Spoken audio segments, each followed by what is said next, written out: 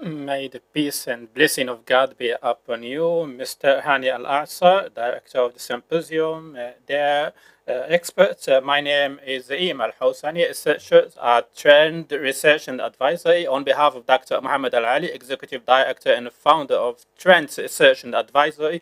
I would like to welcome you all at the third e symposium of the Muslim Brotherhood on the subject uh, called uh, Signs of Decline and Strategies to Survive in order to explore the evolutions that affected the Muslim Brotherhood, especially in terms of the decline of the projects uh, after the Brotherhood uh, suffered many uh, uh, failures in the last years. And this symposium uh, is conducted under the title of the Muslim Brotherhood in the Arab World, the Signs of Decline and Strategies to Survive. We have uh, an elite of experts uh, in the Muslim Brotherhood uh, who will tackle different important themes such as the manifestation of the decline of the Brotherhood ideology in the Arab world, the impact of transformation in Tunisia on the future of Muslim Brotherhood in the region, and the Brotherhood strategy for survival and continuity prospect for the Muslim Brotherhood in the Arab world. Ladies and gentlemen, uh, organizing uh, this symposium uh, comes uh, in order to enhance uh, peace and uh, security in the world by exploring and analyzing different extremist ideology in the Arab world and beyond the Arab world. Trend Research Advisory is seeking uh, to expand uh, its uh, knowledge and research in this field and share ideas at different levels.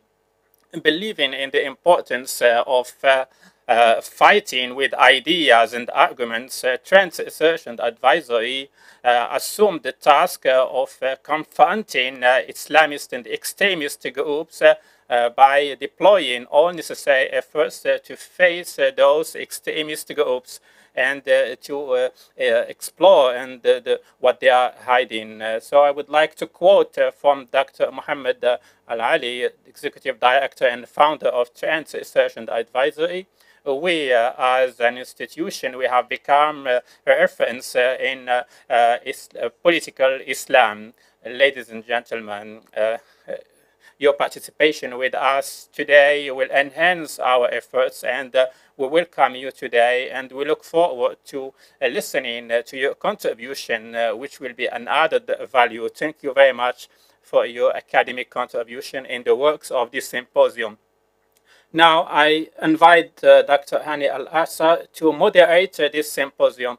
Thank you, uh, uh, Mrs. Reem. Uh, thank you, dear panelists. thank you to the audience. And thank you, Dr. Muhammad Al-Ali, for inviting us to this symposium and many others organized by Trend Research and Advisory.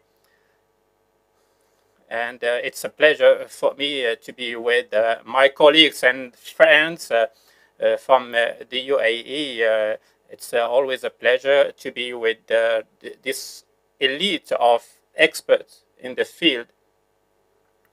And I hope uh, that I can add a value to the works that you are conducting. And we will start directly with Dr. Ali Mustafa and he will give uh, his speech uh, and uh, according to the schedule uh, every speaker is allowed 15 minutes. Uh, so uh, hopefully we will have the, the chance to ask you also some questions related to the topic at the end. You have the floor. Thank you Dr. Hani. Did you say I have 10 minutes or is it 15 minutes uh, you have the time. Take your time, doctor.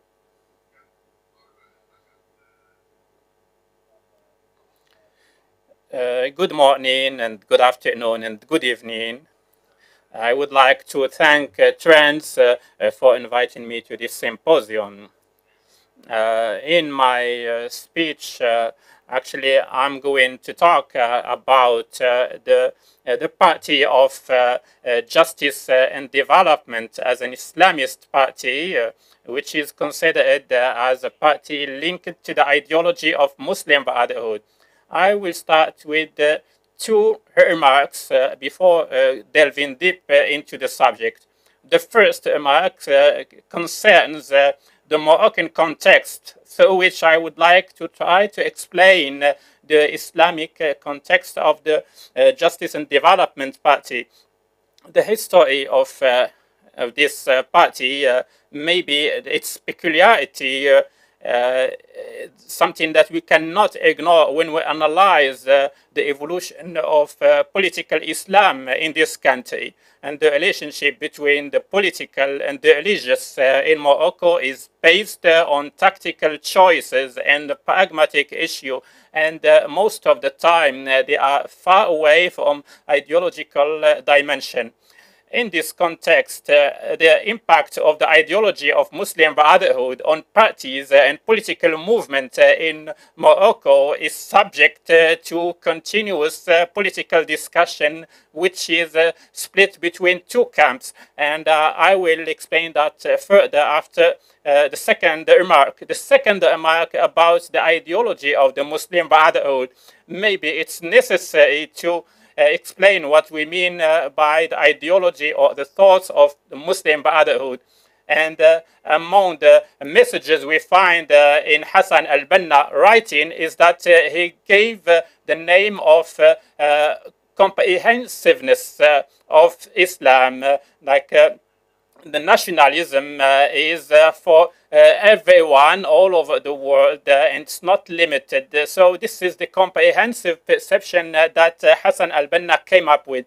And uh, starting uh, from this context and the definition of Hassan al-Banna of uh, the doctrine of the Brotherhood, we have two camps in Morocco regarding the ideology, the Islamic ideology in Morocco. The first camp uh, considered that the Islamist ideology stems from inside and is completely disconnected from the ideology of the Muslim Brotherhood, while the second camp believe that there is no exception uh, in the Moroccan uh, context uh, and that the political uh, movement in Morocco were always under the Islamic uh, uh, influence that's imported uh, starting from the 60s for some and 70s for others.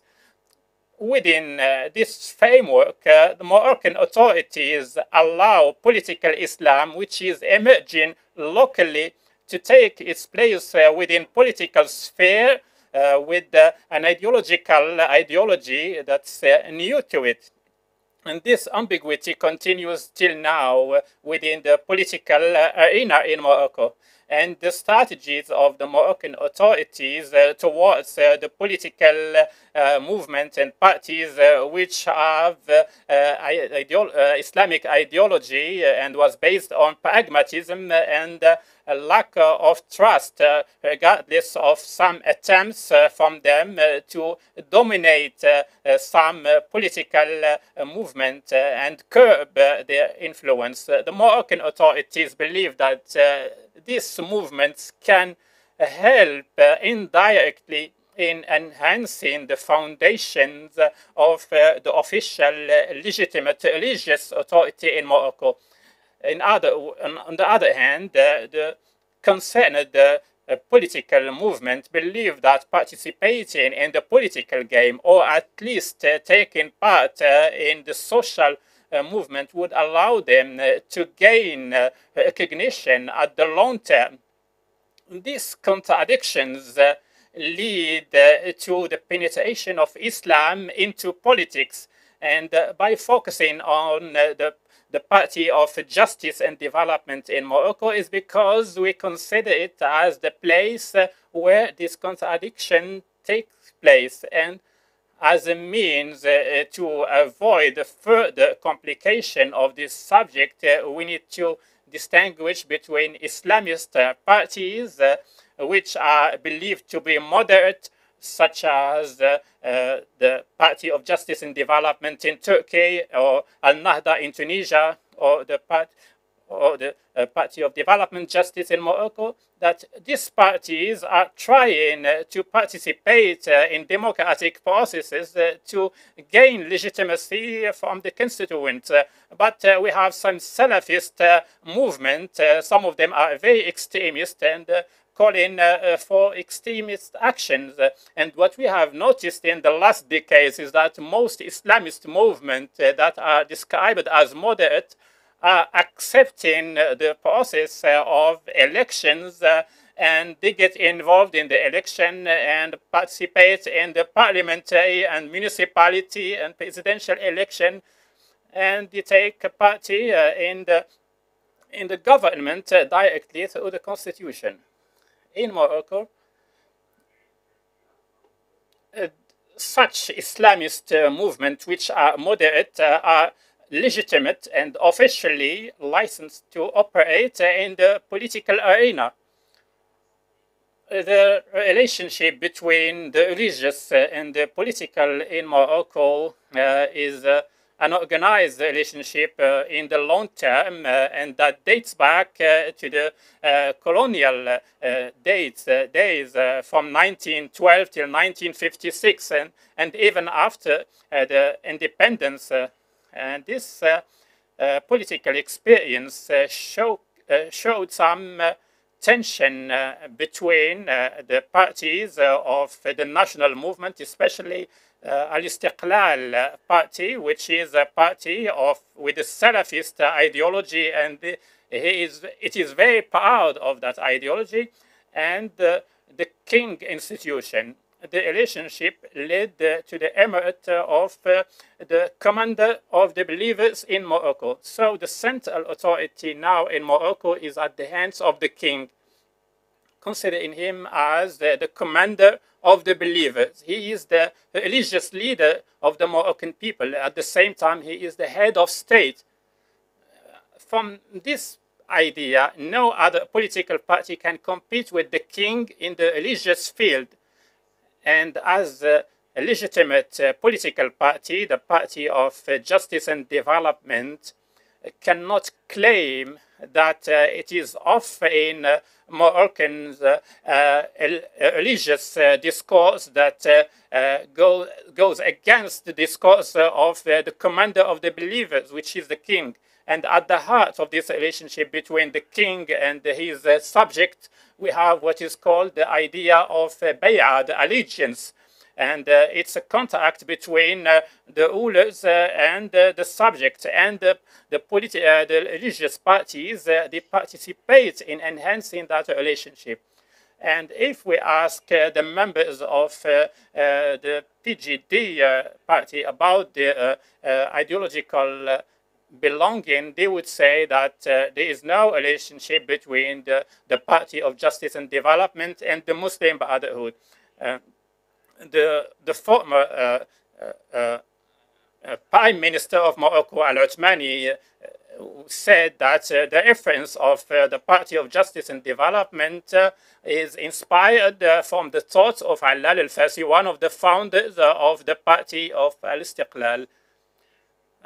as for the political reforms, if one of the objectives of the Muslim Brotherhood is to establish uh, uh, Islamic Islamic Republic in all Arab countries, the ambitions of uh, the Party of Justice and Development are more humble and are different. and as Saad al-Othmani said, the Party of Justice and Development is uh, completely different uh, from uh, the Muslim Brotherhood in terms of the strategy because uh, the party was uh, never part uh, of the Muslim Brotherhood, although they may share uh, the same Islamist uh, value. So uh, we are really at odds.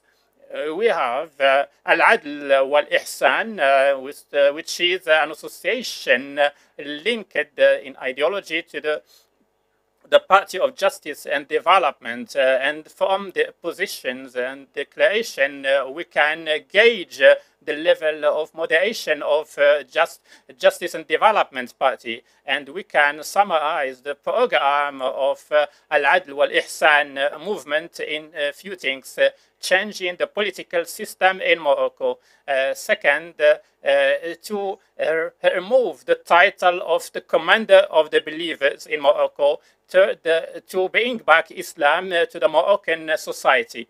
Uh, these uh, things, they are not uh, among the program of the Party of Justice and Development, although they have a close relationship in terms of their thoughts. On the from his side, uh, Mr. Idris Al-Kanboi, who is expert uh, in uh, Islamic movement in Morocco, he said that the relationship between Justice and Development Party and Muslim Brotherhood uh, is a fact. Uh, and uh, the proof is that we have some members of Muslim Brotherhood and other Islamist movement in conferences organized uh, uh, in Morocco by Justice and Development Party. And the same uh, goes to conferences organized by Muslim Brotherhood outside of Morocco and the representatives of uh, Justice and Development uh, Party uh, say that the philosophy behind the presence is to, to, stay abreast and to evaluate the situation in general and to exchange experience and interest and to coordinate uh, positions, but uh, still there is ambiguity about this relationship they have with the Muslim Brotherhood. Uh, the development the Justice and Development Party uh, came to power uh, 10 years ago in the aftermath of the evolution of 2011 and its election was something desired by the, the, the monarchy in Morocco and also given the changing situation in the region. And Morocco managed uh, with the election of uh, Justice and Development Party uh, falling into the same chaos that affected other countries and uh, which uh, went through uh, difficult times that some of them still could not get out of. The 10 years of Justice and Development Party allowed uh, to uh, see different political concessions that reflect the role of the deep state in Morocco and the real uh, governance of the regime after 10 years. And it would be now wrong uh, to assume that uh, Justice and Development Party in Morocco has left uh, any Islamic reference that is deeper in society. Uh, so moving from hidden uh, to legitimate uh, actions, according to Muhammad Tozi, who was who is one of the experts in the political Islam. Uh, Justice and Development Party has become a party of uh, public administration. Uh, it's conservative uh, nationalist uh, with a uh, slight Islamist difference flavor, but justice and party development uh, has adapted to the political situation even before winning the election of 2011 and the first uh, uh, big the first beginning started to emerge in the early 90s where the political issue and the ideological pragmatism uh, dominated uh, over the uh, Islamist one. So the adaptation and the concessions are signals of survival because disappearing does not uh, mean the end, but it's some sort of adaptation and some measures for survival. There are many examples uh, about the, this change. Uh, Justice uh, and Development Party, which always uh, defends uh, Arabic language, mentioned in September 2013 that French language will be used to teach scientific subjects in physics, science, and mathematics at high schools Uh, this idea uh, was faced with too much criticism by the International Union uh, of Muslim ulama. they said that this would be like a backlash for the Arabic civilizations and the, uh, the, the, last thing we have seen is that uh, the relationship uh, that was with Israel and different concessions made by Justice and Development Party were based uh, on the evaluation uh, uh, of the, the gains and the losses. And this is what explains why Abdel Ilah Benkirane did not support uh, the movement of 20 February in 2011, although that movement uh, uh, helped the Justice and Development Party to power. And uh, maybe this is why Saad al-Uthmani did not want to interfere uh, in the uh, uh, in the issue of the detainees of uh, Arif area in 2017.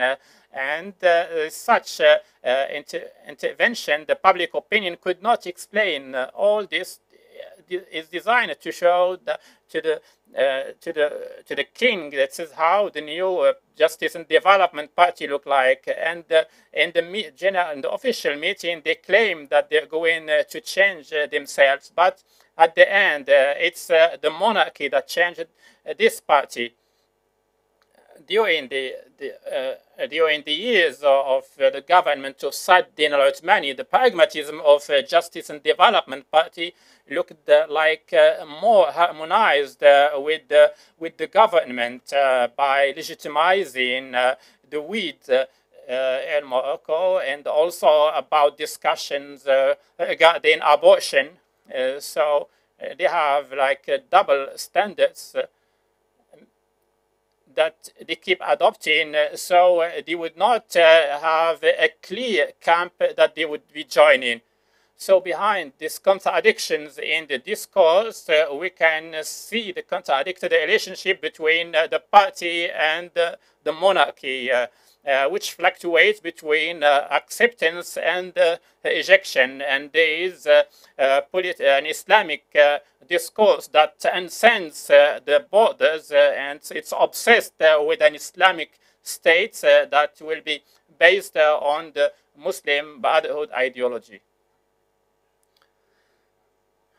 Dr. Ali, your time is up and the Moroccan case is uh, very important. Uh, and I would like to ask uh, some questions maybe at the end uh, of the symposium, if we have time. Uh, we thank you for your uh, presentation. we'll move now to Dr.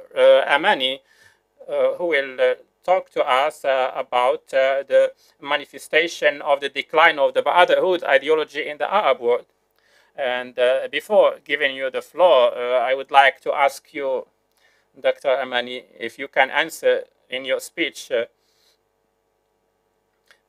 uh, can we say that uh, this ideology is declining uh, or can the ideologies uh, this is a question the, the ideology can can we say that an idea or an ideology would decline uh, especially for the case uh, of the Muslim Brotherhood in the Arab world in the last years so I will give you the floor Uh, you have uh, 15 minutes, uh, Dr. Amani. Uh, thank you, and I would like to greet you from Canada. Uh, it's a pleasure for me to be invited uh, within the context of Trends Symposium, and I am very pleased with the choice of the subject, and I would like to organizers of this symposium for their organization. Uh, uh, first of all, uh, thank you for accepting my papers uh, because, uh, as you know, I live in Canada and the current uh, here they defend the Muslim Brotherhood in Canada because of different reasons that Dr. Wael Saleh would explain that further. but I would say that the discourse of Muslim Brotherhood uh, is a discourse of victimhood uh, in which they excel, and the media policy that the Muslim Brotherhood is using to promote the idea and to shed light on what they uh, consider as uh, their policies and that they viewed policy, but it was just some tactics uh, to absorb the strike uh, that they were getting, as mentioned by the researcher Ibrahim Maghali.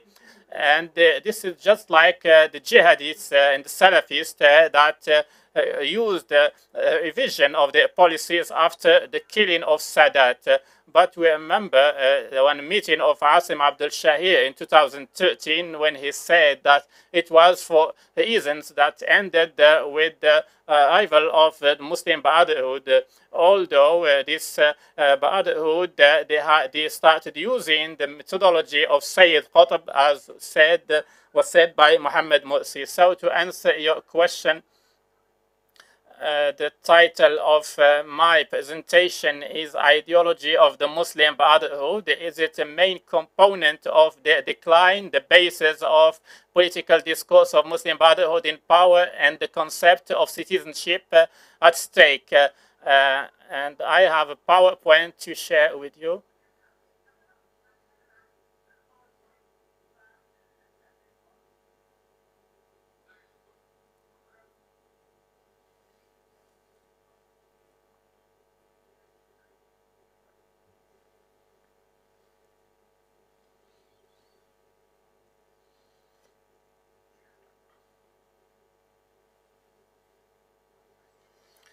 So, a general overview uh, of the literature uh, that analyzed the Islamist movement show that most of the Western studies uh, focus on, on the Islamist uh, discourse uh, based uh, on the literature of Salafists, and we have many examples.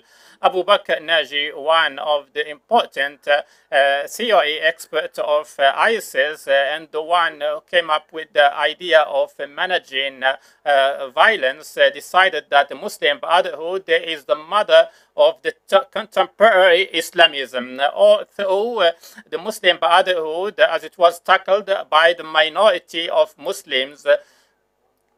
And most of the analysis that uh, tackled uh, brotherhood violence with the non-Islamists uh, adopt uh, a defensive uh, position.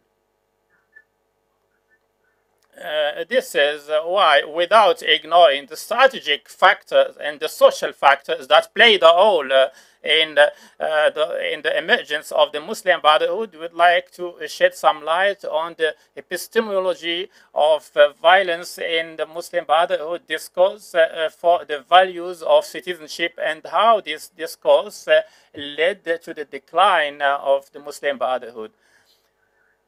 Uh, this research contributes uh, in knowledge not only by tackling uh, the gap uh, of uh, the way that the Muslim Brotherhood look at the others who are non-Islamists, but also by linking the institutional concept of the discourse.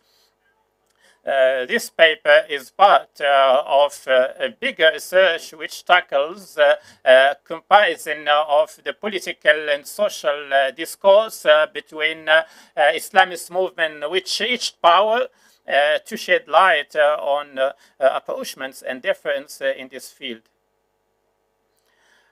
this paper aims to explore uh, how uh, the concept of uh, brotherhood policy wants to redefine the concept of citizenship based on religious belonging to non of non-Muslim based also on uh, how they abide or deviate from the Islamist uh, methodology as they promote, which explain uh, the citizenship violence. So I'm going to focus on the ideology.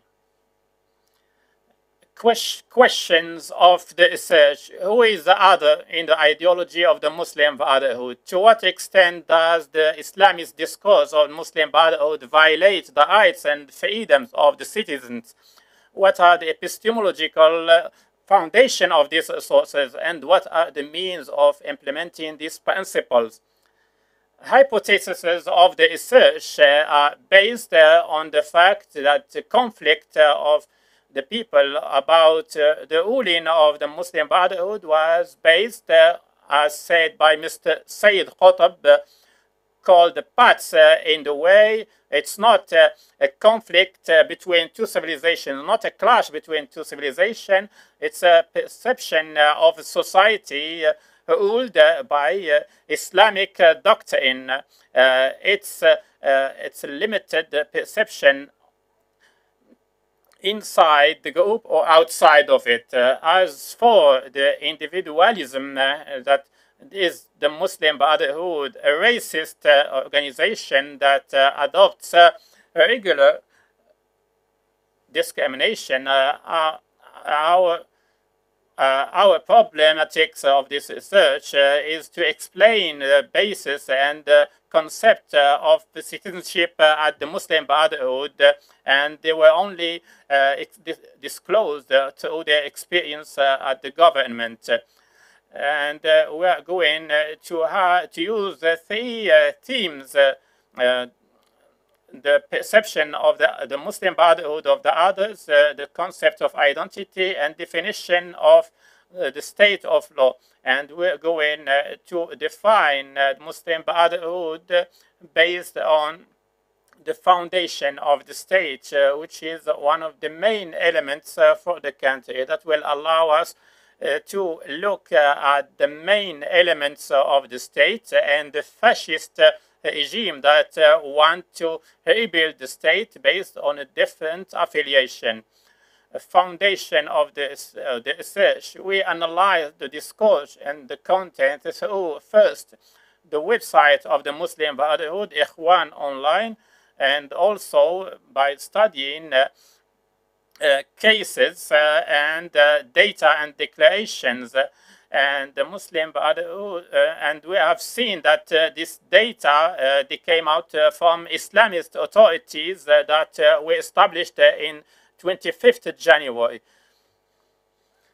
We, we have also Ikhwan Online, which we use to, to analyze data and as we said, uh, it uh, it was uh, established after 25th January. We have the legitimate authority for rights and reforms. It was established in 2011. It had 19 members, including Khairat al-Shater, and the Council of Shura of Ulama, which was established in February 2011. We're going to look at the uh, articles uh, of the Islamic Islamist constitution and we are going to use a comparative approach uh, of uh, discourse uh, of the Muslim Brotherhood and the declaration and how they are linked to the uh, theory expert of Brotherhood, such as Al-Banna. First, perception of the Muslim Brotherhood of the others. from in-group versus out-group, we have seen that uh, Muslim Brotherhood uh, the divide people in uh, two ways, as was said by uh, and Turner, uh, in group versus out group. Uh, based on this classification, they have the state of law. We have in the group, we have the Islamist and the Jihadist. as uh, Uh, we have learned from the uh, declarations, uh, Hamas, Al-Qaeda, as Din al-Qassam uh, factions uh, in the countries which implement Sharia.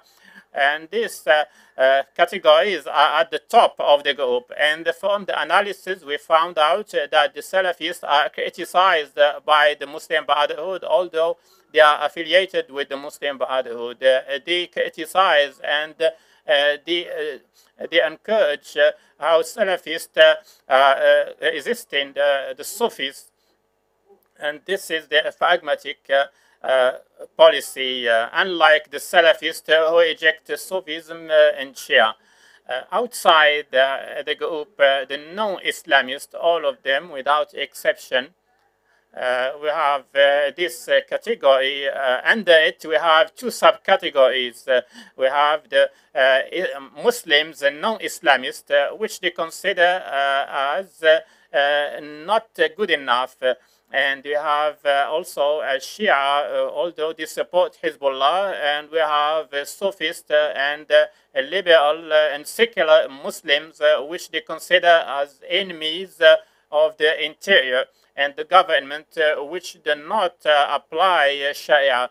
They consider them as found, and those who support them, such as uh, police and security services, uh, they call them Taghut, uh, and all of these are expressions uh, that uh, we can find at Ikhwan online and uh, Al-Azhar. Ulama, they call them ulama of the authority.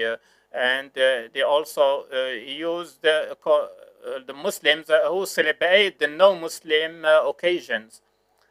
So uh, this is the other uh, form inside. Uh, we have the other form outside the non-Muslim such as the Copts, uh, because uh, uh, they consider them as the fabric of society and the Jewish without distinguishing between uh, uh, those uh, who adopt uh, the Jewish uh, religion. And they consider that those Jewish they are against Islam uh, and they are fighting Gaza and and the West is has a conspiracy against Islam and they uh, summarized the, the concept of uh, Qutb uh, and his idea about uh, non-Islamists uh, who are uh, Muslims who do not adopt Islamism.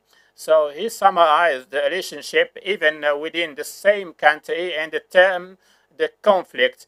And the, within the nation, he said, we find the animosity and for the liberal and the secular they call them as uh, the conspiracy member who hate Islam.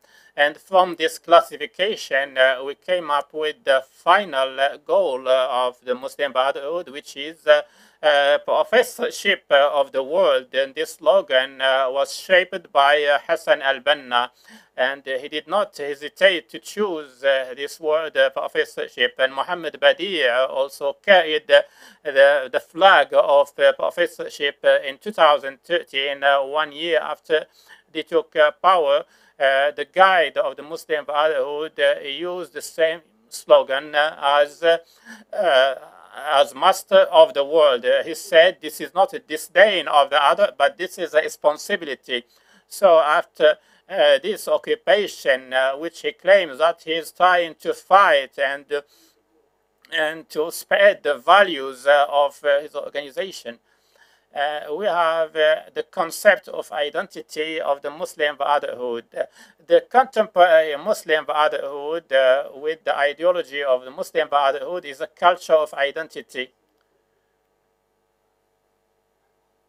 You have one minute It's a, a culture of identity. Uh, how can we imagine the country uh, and the, rule of the Muslim Brotherhood? This say it's a civil state, but the civil state has a definition uh, linked to the Brotherhood. It's not uh, military, it's not theocrats. And uh, translated the policy in so many examples uh, that I don't have time for and uh, this definition also uh, for the individuals and to what extent uh, they stick uh, to Islamism and this was reflected in the fatwa of the uh, Council of uh, Reform. I have one minute. I will finish.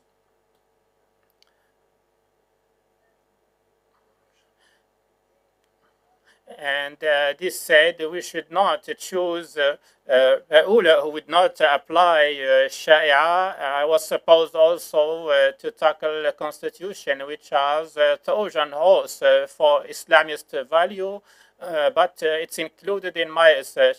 Uh, in the aftermath of the evolution of 2011, uh, the Muslim Brotherhood uh, in power faced uh, some uh, difficulties making equilibrium between uh, uh, the Islamism uh, and democracy, and they failed at both sides.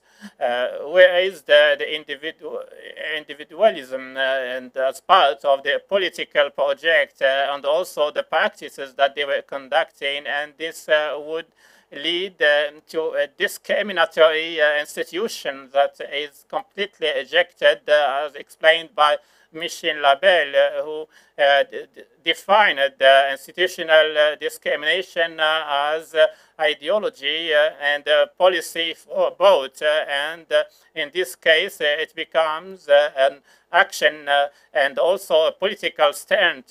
Uh, this is why the ideology is one of the reasons of decline of the Brotherhood. Thank you.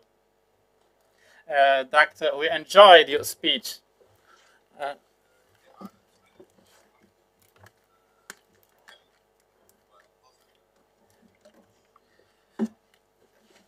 we hope that uh, we will get some answers uh, in future discussions now. Qasim uh, will uh, talk to us and he will talk about uh, Islamism and uh, the situation in Tunisia and the impact of that on the Arab region. And I hope that the Tunisian uh, case is uh, a case that uh, can let us extract some lessons. So I would like to remind you that you have 15 minutes and I hope that the trends colleagues switch on the microphone for me beforehand so that I can uh, introduce the speakers. Thank you very much, Mr. Hani and uh, I thank uh, Trends Research and Advisory for this uh, symposium. I would like to share with you that I really enjoyed the two presentations of the two previous speakers. My presentation is about uh, the impact of transformation in Tunisia on the future of the Muslim Brotherhood in the region.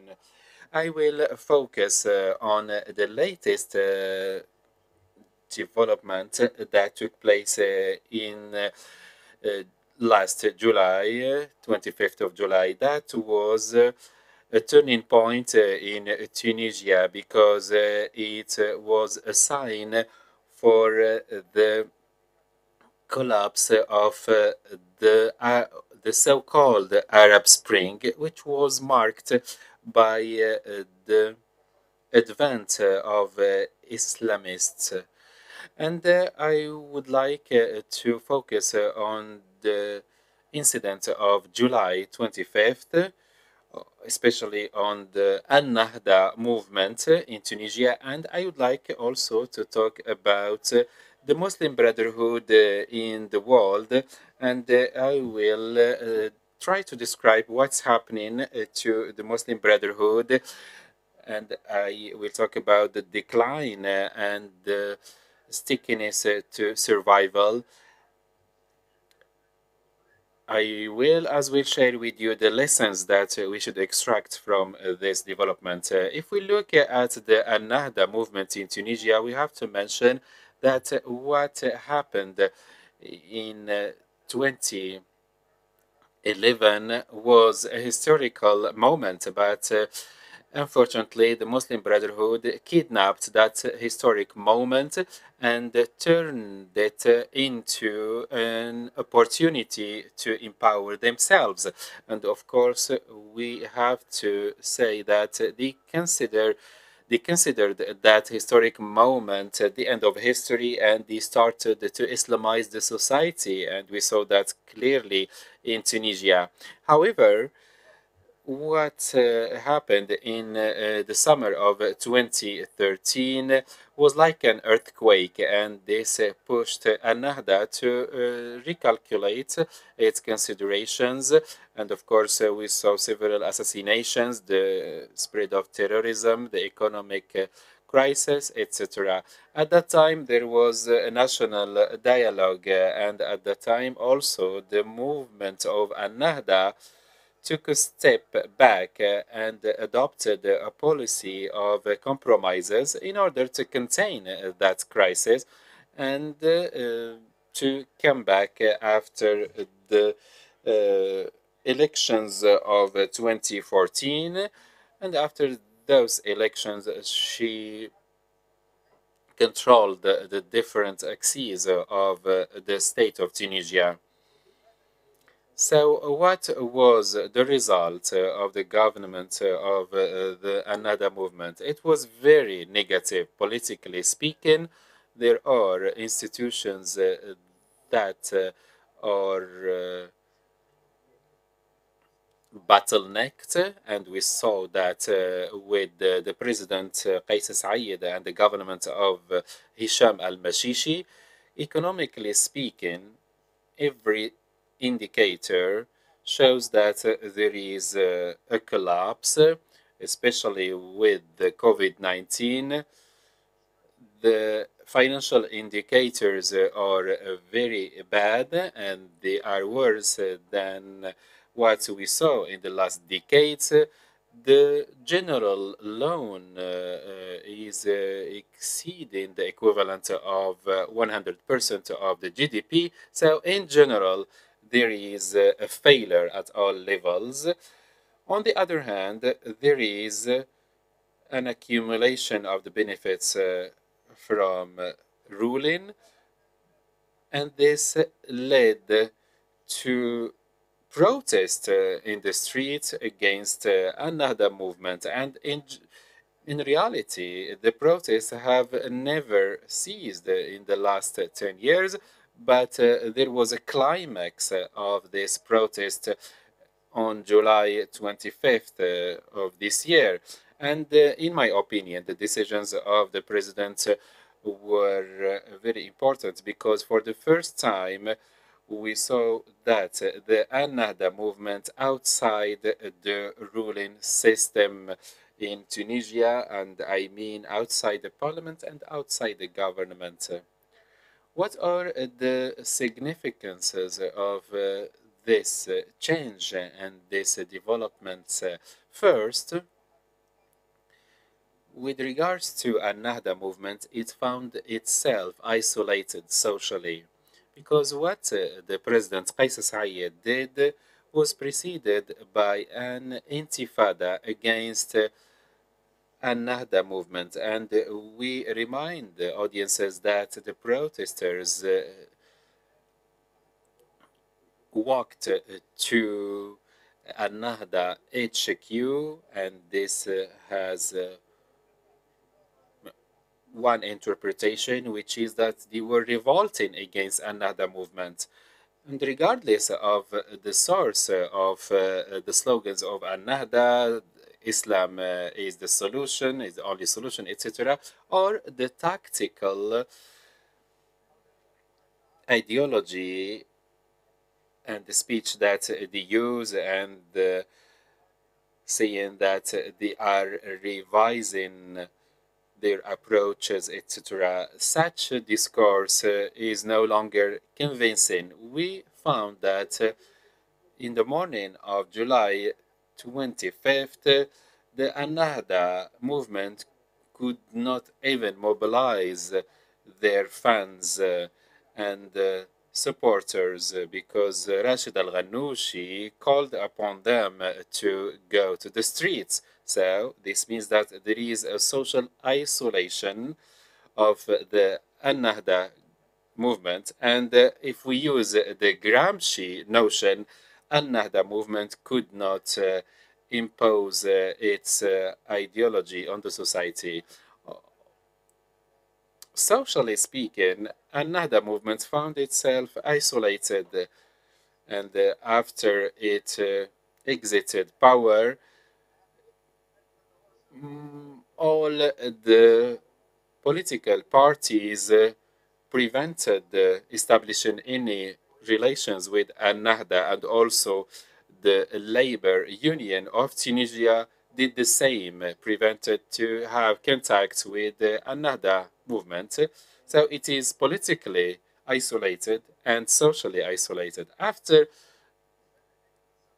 the 25th of July, we found that uh, more than 130 resignations of the Ennahda movement uh, were submitted, and this included some leaders of the front lines.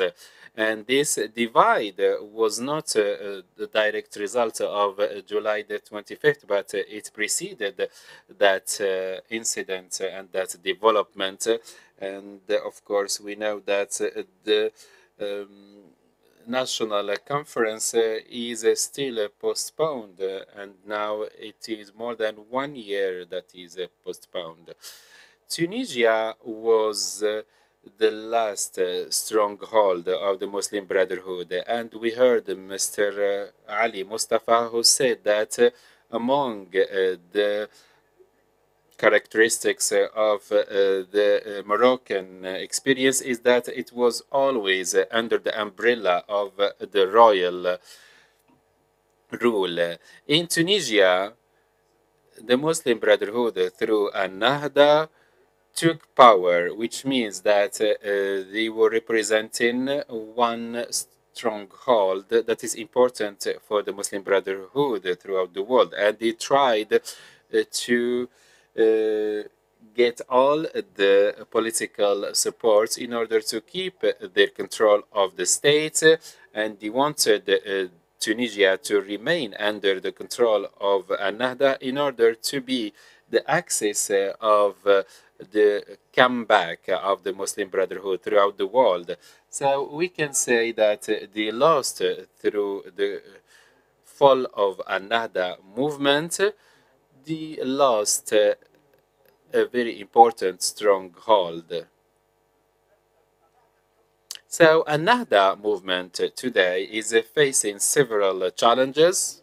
There is a divide inside that movement there is the challenge of losing uh, their presence uh, in the political arena, and also there are uh, some problems that are chasing Ennahda, like some financial corruptions and also the fact that they are representing Muslim Brotherhood ideology that is a transnational the other elements that I would like to share with you is uh, how to interpret this development. Uh, so uh, uh, changes, uh, or they representing uh, a decline of the Muslim Brotherhood, or uh, just a fall and they will uh, rise again uh, and survive.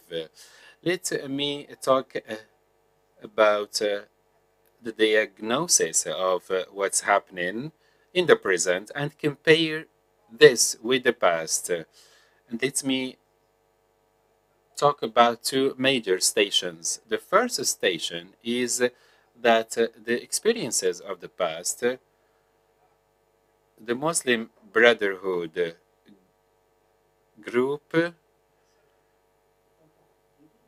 acquired throughout its long history an experience in dealing with crises. And this uh, experience uh, made it able to adapt to the situations where there are constraints and difficulties. So its history is a series of uh, falls and rises, pressures, constraints, challenges, etc. So it is something very important for the Muslim Brotherhood. Also, the Muslim Brotherhood group has an ideological background, and this background is based on this uh, concept and notions of uh, the taste of uh, the Muslim conservative and how they survive in facing all the challenges.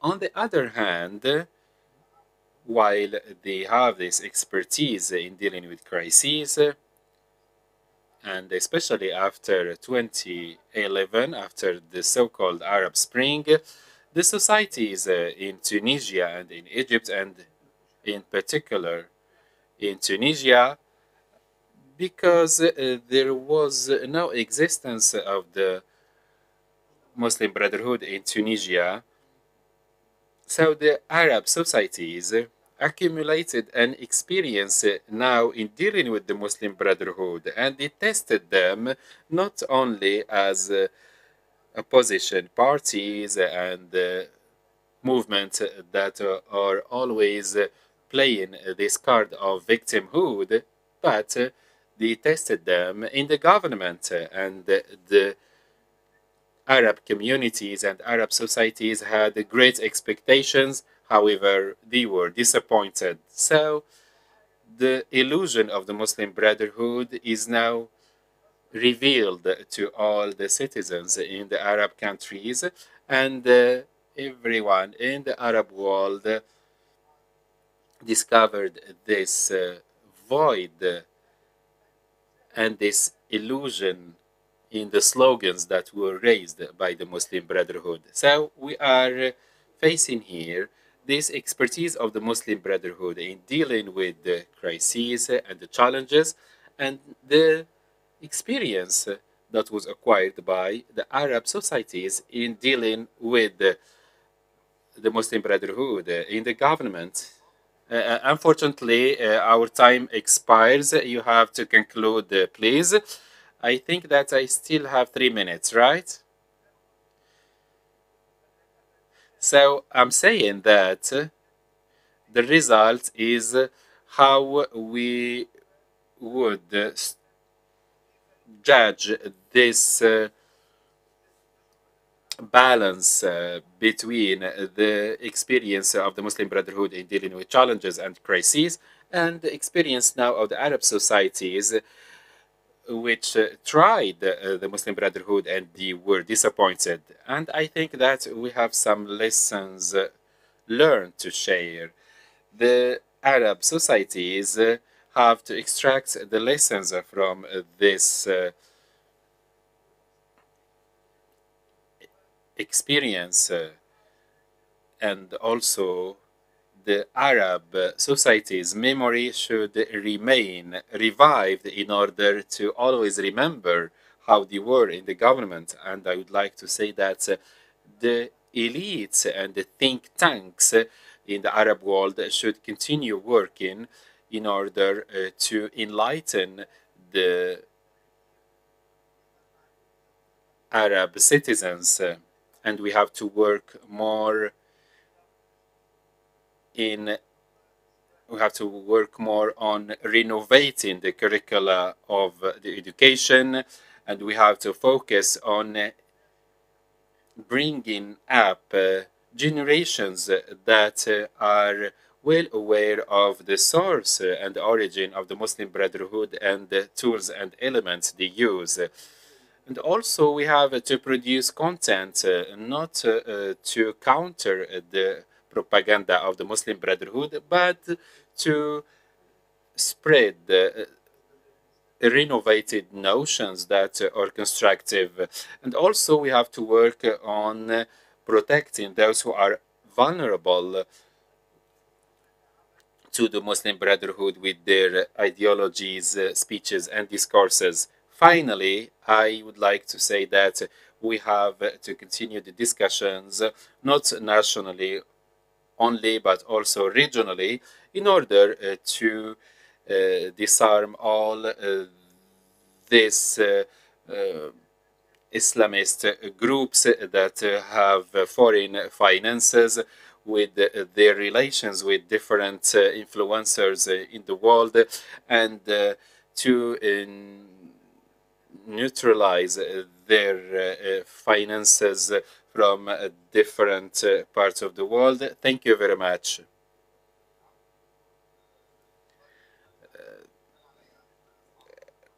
Uh, of course, uh, I would love to hear more about the Tunisian uh, experience uh, because it is an experience that that is worth uh, discussion, and we know that uh, the Muslim Brotherhood uh, failed after the failure of uh, the uh, Muslim Brotherhood in Egypt, and of course uh, we know that Saudi Arabia and United Arab Emirates have hailed the efforts to counter the Muslim Brotherhood experience uh, in uh, Tunisia and uh, in Morocco. I think that in this symposium, I would love to hear from His Excellency Dirar Balhoul Al Falasi because he has published several articles about the Muslim Brotherhood and he talked about uh, the threat that is represented by this uh, movement. and uh, this symposium is taking place after Mustafa Tolba, the Egyptian uh, businessman who lives in uh, Turkey, and of course he is belonging to the front of Mahmoud Hussein.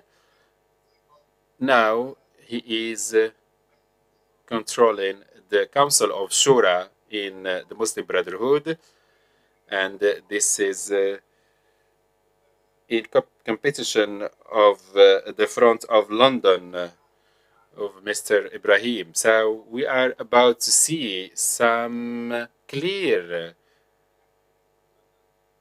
aspects of divide. We are seeing like three Muslim Brotherhood movements three axes. So maybe this can be starting point that uh, Mr. Dirar Balhoul Al-Falasi can uh, initiate. And of course, uh, we are wishing to hear more about his perspectives about the presence of Muslim Brotherhood in other Arab countries and what are the strategies that we can embrace in the future. So you have the floor, uh, Mr. Al Falasi, and you have uh, 15 minutes. So uh, uh I would love if you abide by uh, this uh, 15 minutes. You have the floor.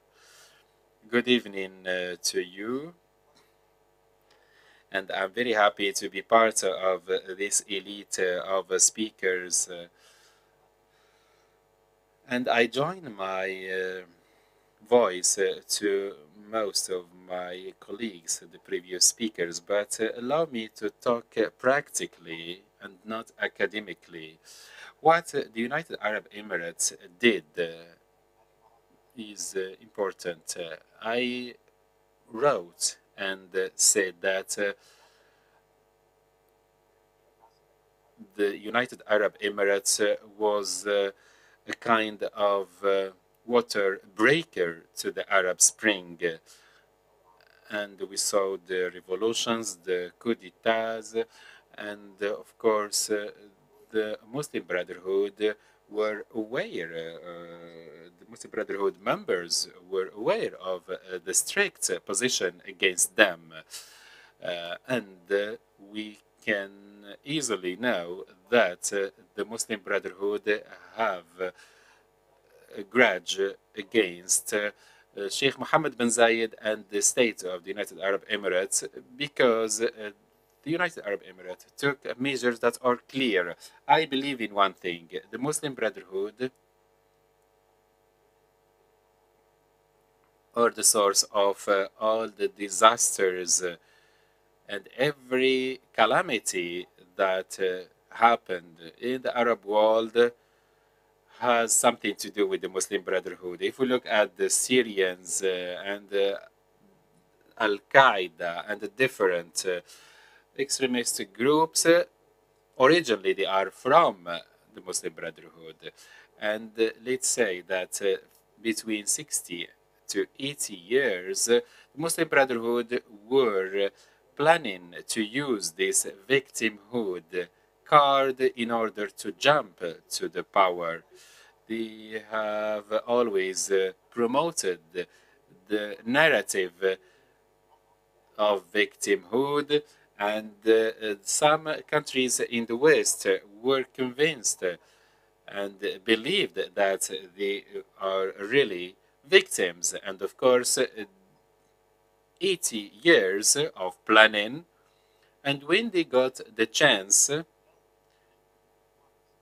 they seized it. And let me say that if the Muslim Brotherhood could not jump to power at 2011 because the situation was disastrous, and if they allowed the chance to another entity, another party to take the punch, they could have found it easily. But they are thirsty to the power. So, if you remember, in the beginning, they said, we are not participating in the elections. But there was a divide internally that took place, and they found that they got their chance. And I said in one conference that uh, this happening was a mercy because people did not know really the real nature of the Muslim Brotherhood and uh, they voted for them as a way to punish the predecessors. So it was a, a punishing vote. And by the way, I would like to mention one thing. I was beaten uh, on two years. Uh, I, I bet that in one year, uh, in two years, they will collapse, but they didn't last uh, for two years. In one year, they collapsed, and I remember uh, that I was with my colleague Mohammed Al Mullah, and I told him that they are preparing the second line and the third lines and those members of the second line and the third line will be liberal. And Dr. Ali said that maybe the situation in Morocco is unique because there is the king who is the commander of the believers and the king led them to integrate in that melting pot. But now there are uh, two clashes. Uh, and I think that uh, there is the new Muslim Brotherhood, who are the youth, the third and the fourth line lines, who will uh, dissect from the old school Muslim Brotherhood, and we know that uh, now they started accepting the homosexuals and they started to accept hashish. And they were always opposing this uh, trends. However the changes that are taking place now and the pressure that is uh, exercised against them push them to that level. And i do believe that things started to be revealed more clear, clearly, they are living a difficult situation. I think that we should uh, dry and drain the sources of uh, the terrorism.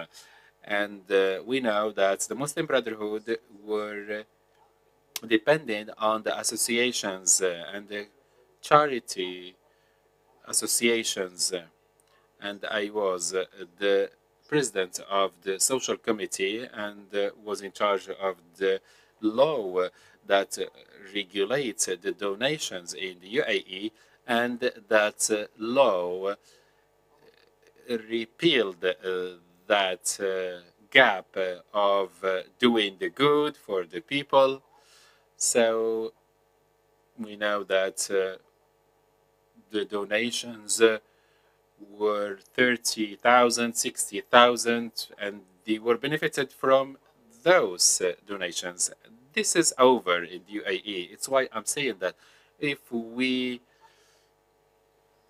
drain this uh, source of terrorism, we will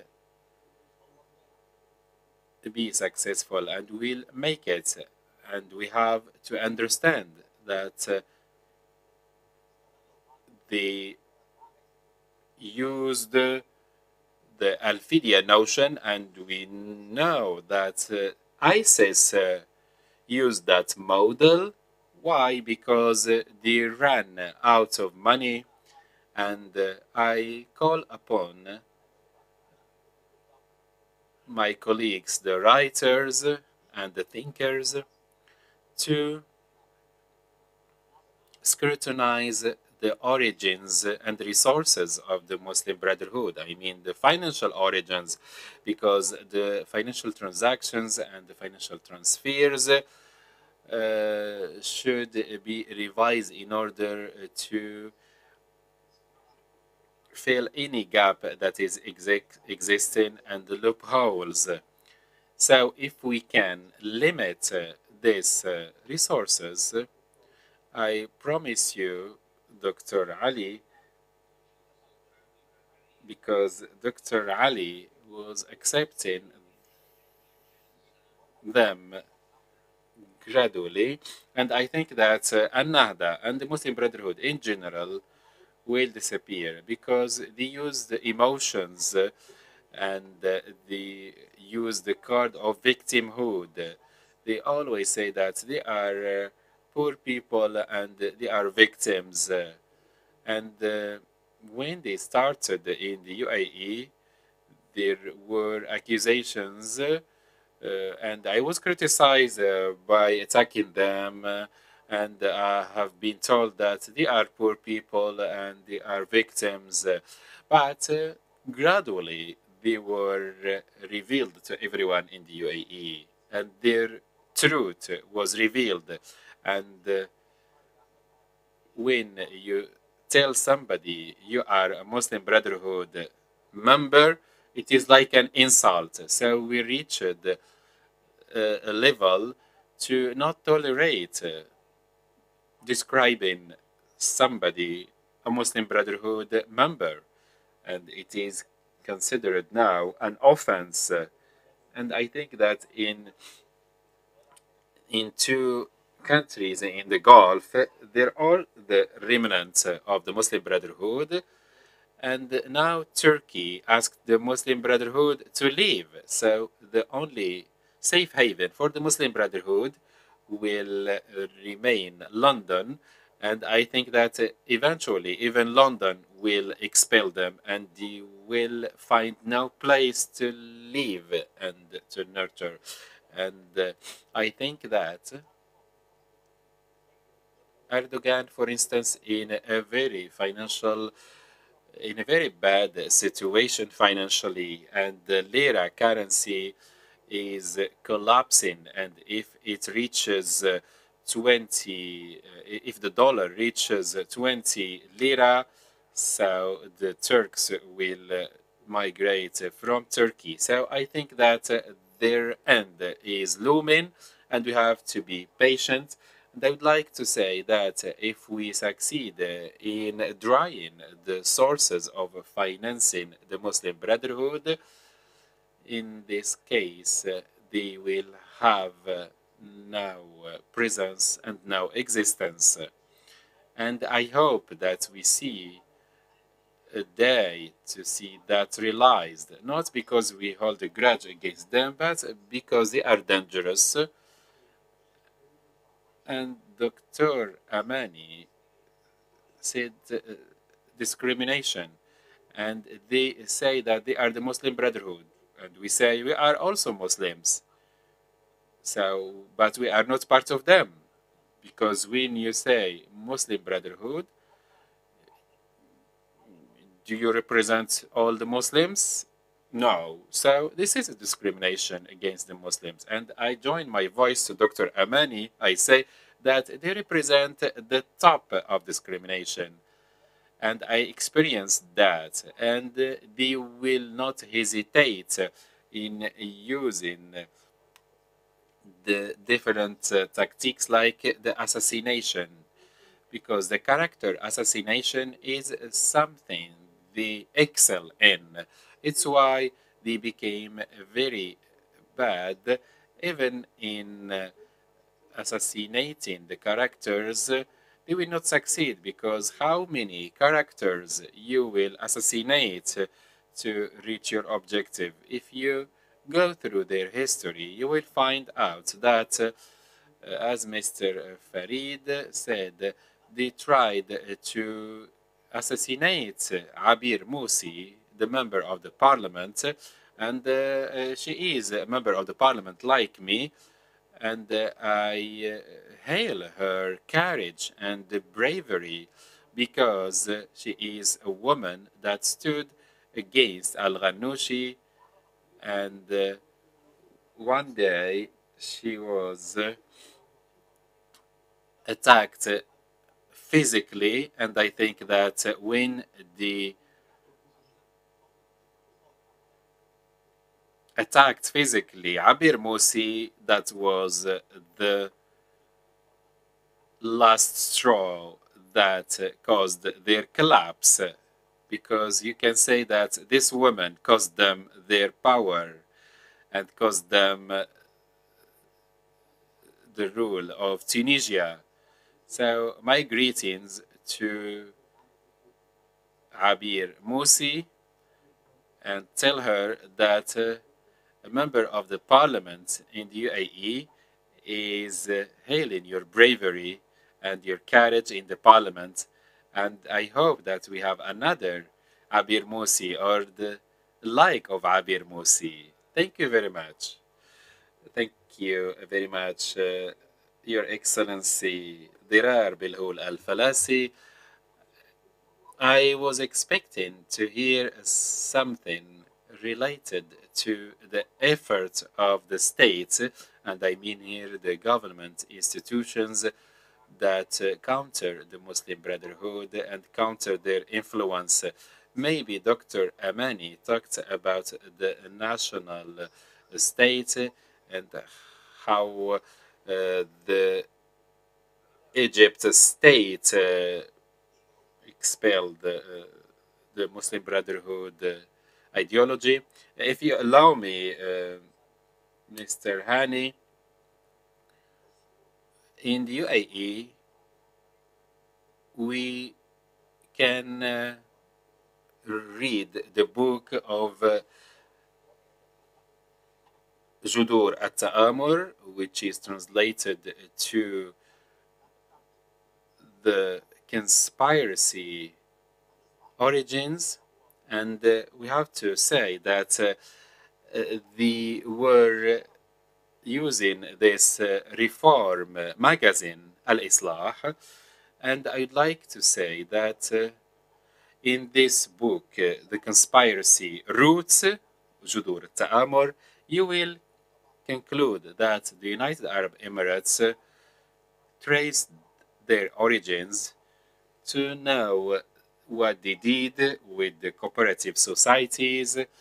And uh, of course, they targeted these uh, cooperative societies because they know there is money in these uh, entities and they were manipulating the elders and they took uh, um, some signing and signed papers from them in order to use that in the elections and we know that uh, there was a company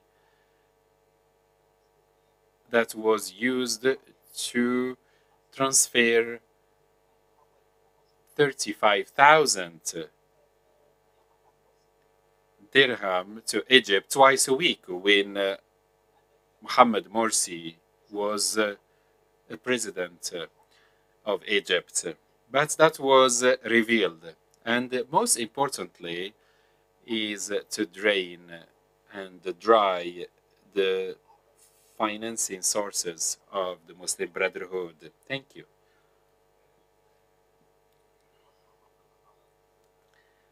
I thank you for uh, this uh, addition, and I would like to come back uh, to the point uh, of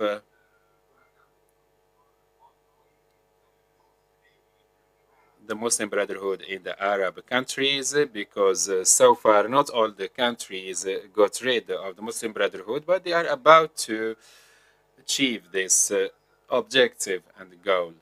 And as a, researcher specialized in security matters, I think that uh, in the United, uh, in uh, Egypt and even in the United Arab Emirates,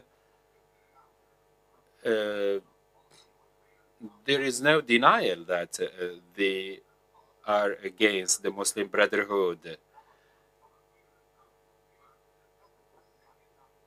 But uh, some entities uh, did not mention uh, the uh, support of uh, Egypt and the, most, and the United Arab Emirates to the countries that are fighting the Muslim Brotherhood and uh, of course uh, with the efforts of Egypt and the United Arab Emirates, they accelerated the path of getting rid of the Muslim Brotherhood.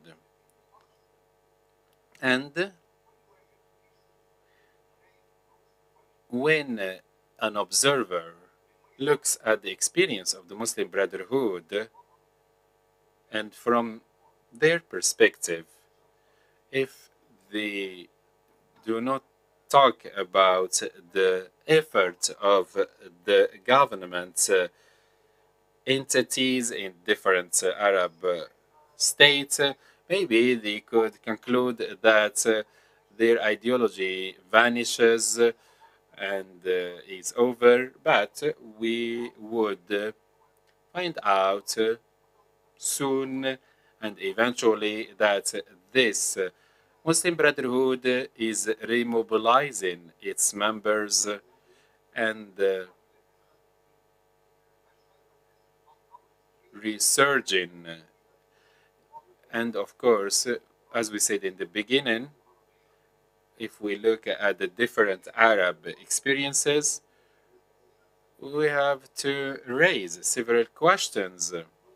And uh, I would like uh, to share some of these questions with you.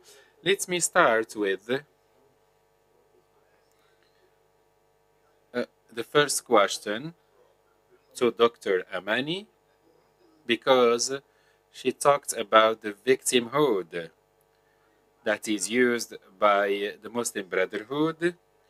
And my question can the Muslim Brotherhood use its participation in the government and also the victimhood or the economic network. And maybe Mr. Dirar also can uh, answer partly this uh, question. So, can the Muslim Brotherhood really re-emerges from Europe uh, to the Arab countries? And uh, we know uh, their presence uh, in Western countries, maybe using some lobbies there or use their resources uh, in the main HQ of the Muslim Brotherhood. So, do you think, Dr. Amani, that the Muslim Brotherhood can reproduce its presence and existence in the Arab world again? Two minutes, please. Thank you very much, Mr. Hani. Uh, Dr. Dirar, I thank you for your presentation because you tackled very important element uh, and uh, especially uh, the element of the fall of the ideology of the Muslim Brotherhood with some reservations.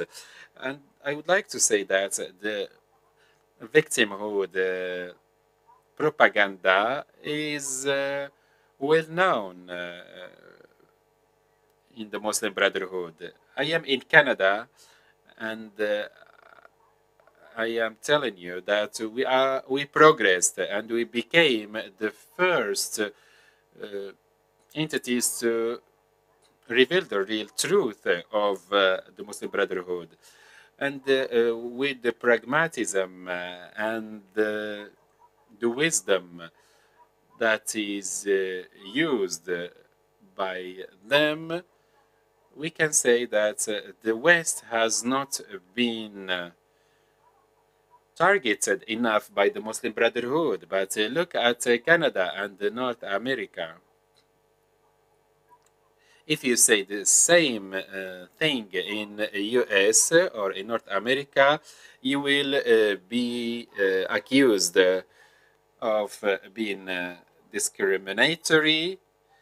Well, uh, as you know, there is a freedom of speech, but you are not allowed to accuse the Muslim Brotherhood in Canada. It's why the ideology of the Muslim Brotherhood is existing as a variant version in the West so, do you think that the Muslim Brotherhood can reproduce itself in the Arab world, given this victimhood?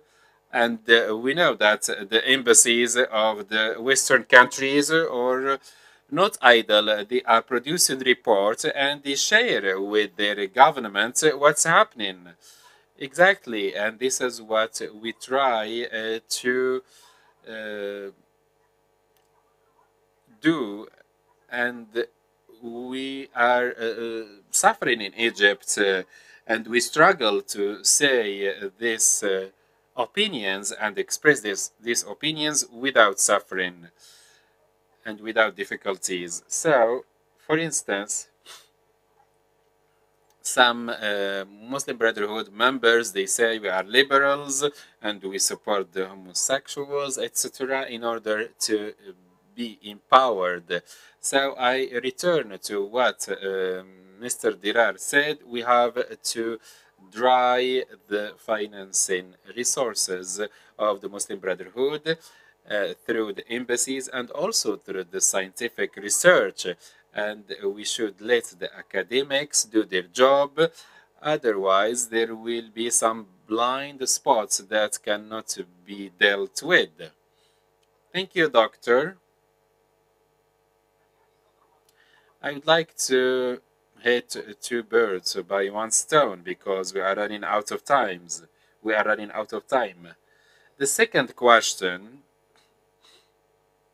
is in the same context. Uh, can the Muslim Brotherhood use uh, the networks they have in Europe and in the West to re-emerge again? And the other uh, part of the question is related to Iran because the sanctions on Iran should be continuous because Iran supports the Hamas movement, which is part of the Muslim Brotherhood. And now there is a transformation in the international perspective toward Iran. In the past, it was uh, described as a rogue nation, and now they are talking with it and having negotiations with it. So, two minutes, Dr. Dirar. Regarding Iran, I think that uh, it is difficult with Iran because Iran uh, is very patient in the negotiations and if you play with Iran, uh, you will know you will not go very far because they are used to sanctions. So, if you focus on cutting the line that reaches uh, uh, Hamas, I think that uh, this is relative. I said once that COVID 19, even because of its uh, disadvantages, uh, it was uh, it was a grant from God because we didn't see the Arab Spring 2.0 reactivated. Now they are uh, busy with the closures, with the lockdowns, so they are kind of busy. And of course, this gives us an opportunity to move. So I think that we have to be proactive and we don't have to wait until they re-emerge. We have to be proactive in defeating them, and I do believe that we have to defeat them because by doing so, we will get rid of many problems. Thank you. Doctor, allow me uh, to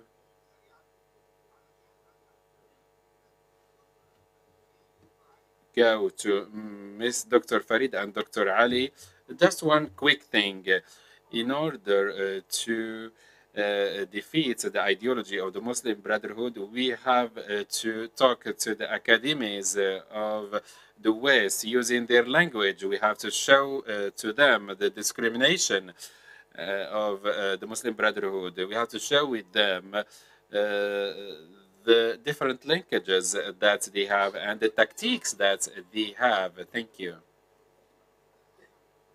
I will ask two questions to Dr. Farid and Dr. Ali. And I will quickly take uh, your answers because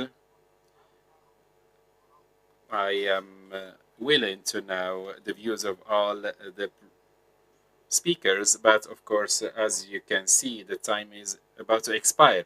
Number one, or the conflict in Libya, in Yemen, and also in Sudan, because it is not living in stability currently, and uh, previous uh, members of uh, the al-Bashir are still there.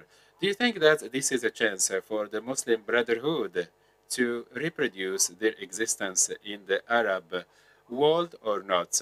Number two is uh, inspired by Dr. Ali and Dr. Farid completed it. It's why I am asking this second question because it is based on your shared perspectives. Are we supposed to study the national context, uh, the legal, economic, uh, social. Do we have to study this context that allowed the Muslim Brotherhood to extend themselves and uh, to empower themselves and impose themselves on the Arab countries and then reaching power as Mr. Dirar said uh, most of the votes uh, were punishing votes uh, and they were punishing the predecessors in power. Do we have to conduct some comparative studies in order to know how the Muslim Brotherhood reached the power? And I will start with the conflict uh, in the region. Let's start with Dr. Ali. You can comment on both uh, questions and you have two minutes each uh, because our time is about to expire. You have the floor, Dr. Ali.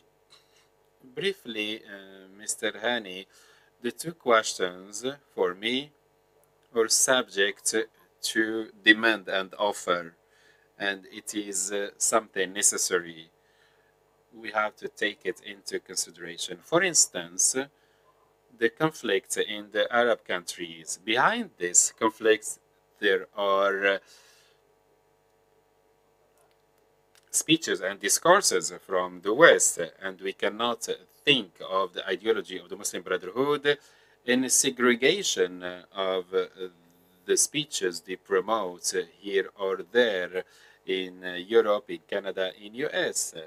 And there is an irony of the situation for the Muslim Brotherhood, and we are in a time that is very challenging because the mechanisms that we had in the past uh, 10, uh, 20 years to um, deconstruct the discourse are not relevant currently. Why? Because the Muslim Brotherhood underwent uh, metamorphosis and this led them to uh, think about forging an identity that will enable them to survive for the 10 years. Maybe they will never ever reach uh, power again, but uh, socially speaking, and their presence in the society, it will not vanish easily because it will be based on the demand and offer. So for me, the Muslim Brotherhood will remain waiting their chance to grab power. But this time, if they reach power, it will uh, be for a longer period of time. In my opinion, I don't distinguish between what's happening in the Arab countries and the Maghreb uh, countries in general and what's happening in Europe and in the West. And we have to take this into account when we analyze this context. Thank you very much uh, for this uh, short answer. The question, the floor now is to Dr. Farid. Uh, two minutes, please. Thank you very much. In fact, the Muslim Brotherhood movement, I would like to say that uh, it is a movement uh, uh, because the rest of branches in the world, they are affiliated to it. the Muslim Brotherhood is uh, always uh, waiting and uh, grabbing the chance to emerge again and it always uh, promotes uh, the slogan that uh, it has the solutions to all problems and it presents itself to the international community as it is the representative of the mainstream of the Arab countries. And as Dr. Amani said, in the Western academies, many members adopt this uh, notion, this illusionary, illusionary notion about uh, the Muslim Brotherhood, the other thing is how the Muslim Brotherhood used the context, uh, and we have to uh, admit that uh, Egypt is not Tunisia, is not Syria, is not Morocco, but these groups have one strategy. And I would remind you that uh, when Lotfi was uh, uh, a member of the government, when Al Jibali was heading the government, he was saying in the social media that he asks the support of the Muslim Brotherhood in Egypt. And he said at the time that the Muslim Brotherhood in Egypt will not allow the fall of the Muslim Brotherhood in Tunisia in March 2013.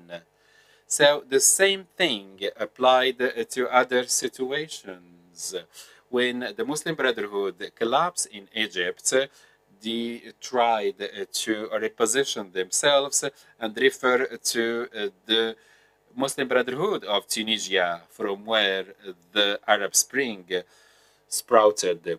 And we have to say that the Muslim Brotherhood are not the only players. There are the states with their govern with their government entities and uh, there are the societies and communities, and we have to focus on these communities and societies as they are uh, the most reliable front. We don't have to talk only about the networks of the Muslim Brotherhood, but also we have to talk about the shield of the societies. And in uh, July 2021, everyone in the Arab world saw how the young protesters head to the headquarters of the uh, movement in order to pronounce the defeat and the fall of the Muslim Brotherhood model.